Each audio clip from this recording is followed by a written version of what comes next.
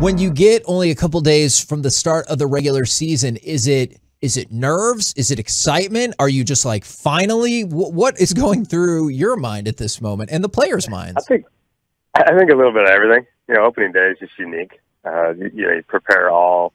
These guys are preparing all off season. I, you know, I remember being a player and just the excitement of opening day.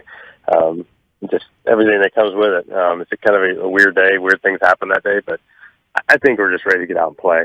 Um, you know, I, I, I'm excited about what happened in camp, but I do know it was it was spring training. Like you know, none of that mattered as far as the win loss column, and that's what we obviously set out this year to do is to win. So, um, you know, it's a long season. It's 162 this year, which is you know, I'm grateful for because I wasn't sure that was going to happen. Um, but now we're we're ready to go, and uh, you know, opening day's around the corner, and our guys are ready.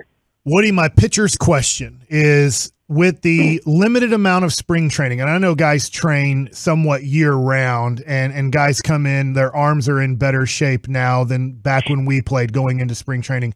How much is it going to be your job and your staff's job to make sure that there's, um, I don't know, I don't want to say lack of injuries. You, you might not be able to totally control that, but that you're watching your pitcher's arms because you weren't able to maybe do exactly how a spring training would go.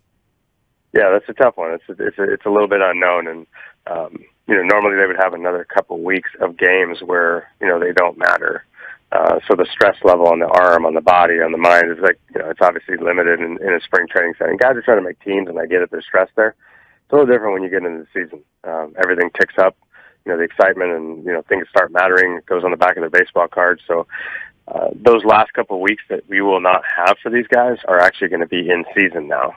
So that concerns me a little bit. It, it concerns all of us. Uh, I think we got to be really, really mindful of that, and, and just kind of watch them and make sure they get their their rest. And you know, the 28 man roster helps. So adding the extra pitchers will help um, relieve a little bit of that. Uh, but there's nothing like pitching in the regular season. So I think it, you know, across the league, it's going to be interesting to see how it, how it plays out. But for us, you know, with with with our organization, you know, we're going to be really really careful with with guys, uh, especially the starters, not letting them go too far. Um, relievers not really trying to pitch them back to back and, and putting too much uh, stress load on them.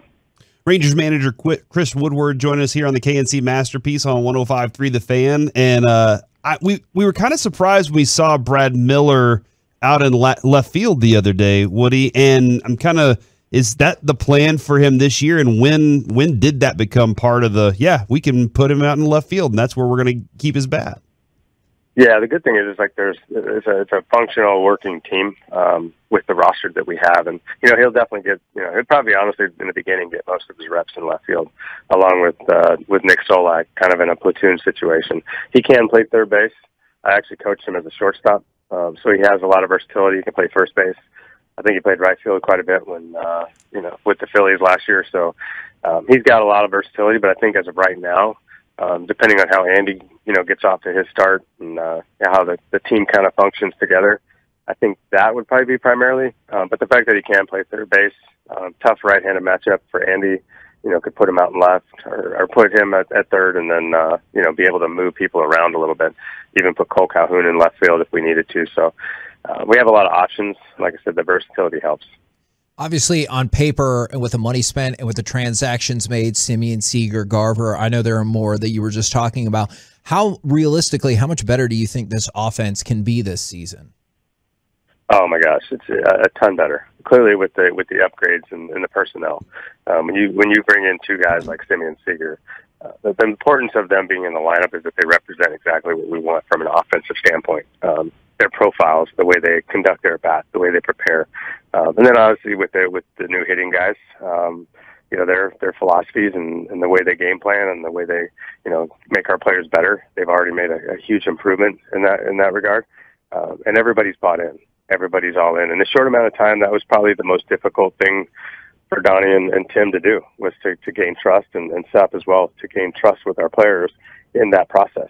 Um, but everybody, you know, poured in, and it's a unique group of guys that uh, that want to win and they want to they want to do it together. And our biggest thing is it's a nine on one approach. Like we got to have all nine guys buying in, whoever's starting that day, and then be able to at times, you know, like I said, with the, the flexibility on the roster, you know, with the platoons, um, maybe in both even right and left field, we have a unique opportunity to kind of match up whenever we want. Um, and everybody's on board with that. There's no, uh, there's no. Everybody wants to play every day, but at the same time, everybody knows they have a, a role on this team, and uh, it's pretty special. You've had uh, the unique experience of handing the ball to multiple different uh, pitchers for opening day here in Arlington, and you know Taylor Hearn. We all love Taylor Hearn here on the show. Can you like explain or describe what what his face looked like when you told him he was going to be the opening day starter here?